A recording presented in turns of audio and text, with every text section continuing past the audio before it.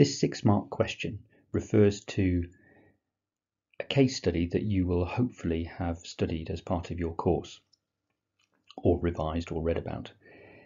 The first two marks are effectively free marks if you want to think of it like that because as long as you can spell the um, the designer that you've studied and identify the product that that designer has worked on then effectively you've got those first two marks um, to start with. Now I'm going to choose one particular case study.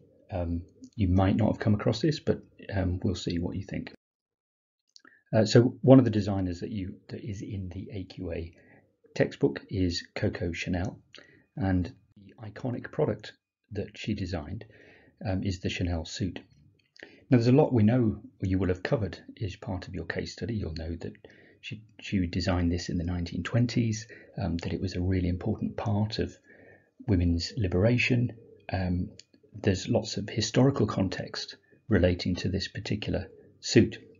But the question, um, the four part, four mark question, refers to four features of the design given to the answer in question two. So what we're not looking for is a blurb, everything you know about Coco Chanel and her suit but some physical features of the suit that make it um, so iconic.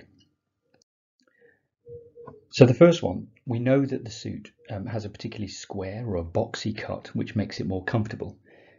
Um, the reason that's so important is because any any well, first of all, there weren't suits for women before this really, which is quite unusual, but also or quite interesting to think about. But also, any clothing was um, corseted, it was tight, um, and so this was a really unusual step forward.